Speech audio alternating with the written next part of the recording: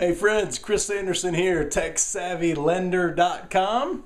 Hey, uh, I haven't made a video for a while, but a lot of been, people have been asking me because they know I've been doing this new nutritarian lifestyle.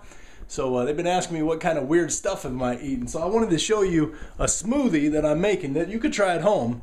And I think you'd be shocked, um, as I was, to find out that this is actually really good. So check it out. This is uh, my Ninja blender, smoking blender if you haven't had that if you're in need of a blender, but here's what's in it.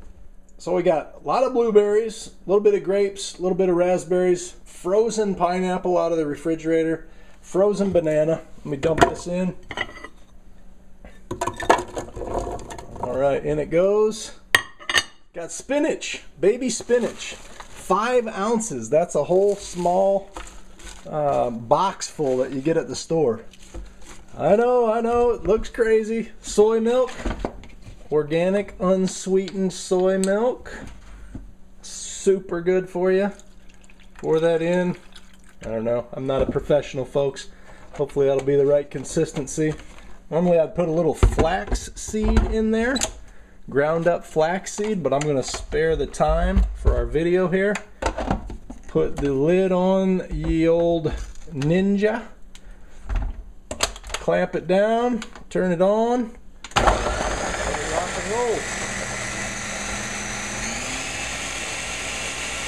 Obviously didn't. Look at that.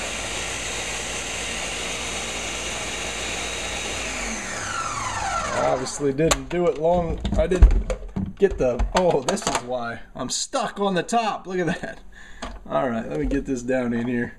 I think I need a little more liquid to this bad boy. There we go. Oh yeah. My mouth's watering already. There we go. Close it down. Not closed all the way. There we go.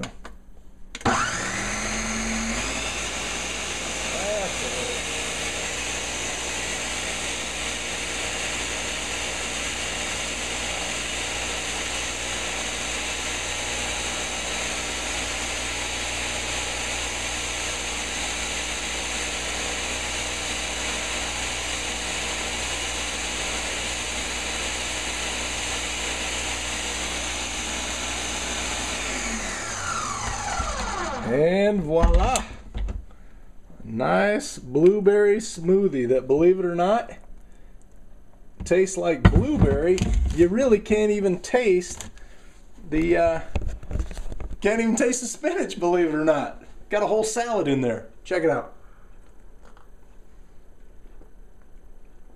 Tastes just like strawberry, blueberry, raspberry, pineapple, and banana.